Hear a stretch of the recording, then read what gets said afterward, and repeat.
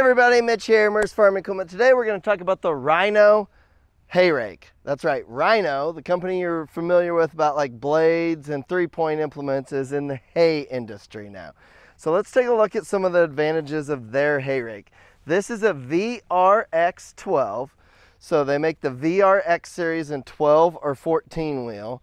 This 12 wheel goes uh, up to 25 foot working conditions. The 14 wheel will go up to 28 feet working conditions. So a couple things you notice right off the bat with the Rhino rake or should notice right off the bat is we've got walking tandems on the mainframe.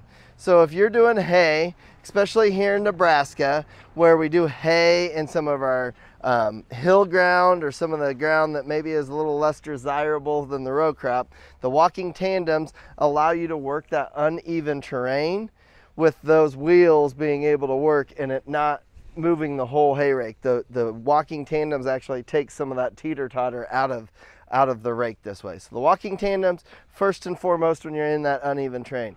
One of the second things you'll notice then is each one of the rake wheels is on an independent arm, spring-loaded arm by itself. So this wheel is on that one, this wheel is on that one, this wheel is on that. So out of 12 wheels, there is 12 uh, hookups right here. So these arms are independent per arm. You don't have two wheels of the rake, the rake wheels, you don't have two of them working on the same um, arm there. So a couple of those things right off the bat. The other thing that you can't see from here is with the VRX rake, there's actually an actuator box in the cab that you can change the windrow width and working conditions. You'll be able to change that from the cab with this with this box. So um, we've got this hooked up to the hydraulics, but you'll be able to adjust the, the windrow here. You can see that these, these rakes, rake wheels right now are intertwined.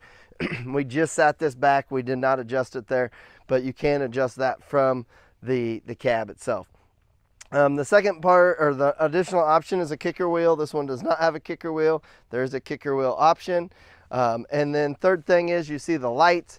Um, safety wise going down the road you got the SMV sign and the lights including the flashers um, which you're not going to find on a lot of hay rakes or, or implements of this size and nature. So this is very much a deluxe series, a premium hay rake um, that's out there in the industry.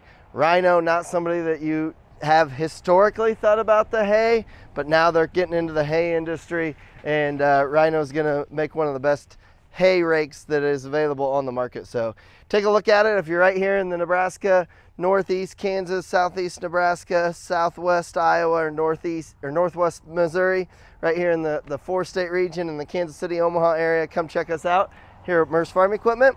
We're right here on the highway. As you can see, you can hear the traffic. I apologize for that, but we're right here on the highway north of Falls City, Nebraska. Uh, on the on the internet at merzfarmequipment.com. Check us out.